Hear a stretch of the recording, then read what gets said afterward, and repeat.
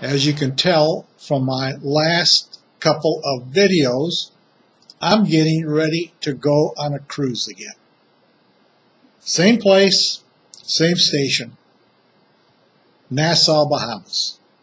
I like Nassau because it's got a land-based casino I can go to.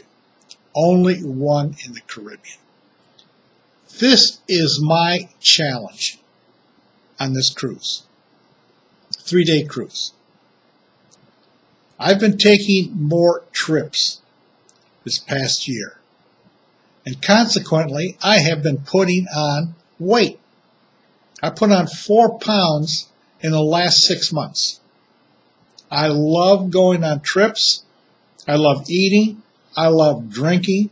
I love looking around. I love making videos and still pictures to post. But I can't keep putting on weight from these trips. So this is my challenge. I do not want to put on a lot of weight on this cruise. And it comes from me gorging my face with food on the ship to where at the end of my eating, my face is completely covered with food. I mean, if I was like a dog and my tongue was long enough, I'd just lick it off my face. But my tongue isn't long enough to do that.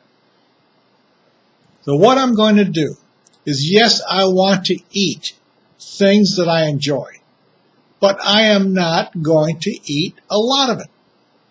Yes, I enjoy drinking, but I am not going to drink a lot.